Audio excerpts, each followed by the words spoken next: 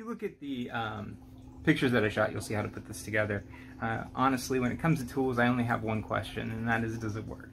Uh, it could look pretty, it could have bells and whistles, uh, it could be cordless and rechargeable, and that's great, but does it work? This is supposed to pass air uh, from the intake to the back, through the nozzle at the top, and pick up water in this reservoir.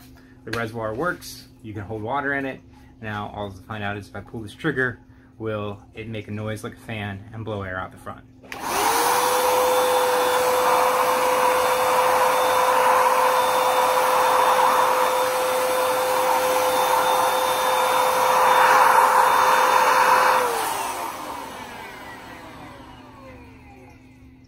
It works, and that's kind of the point.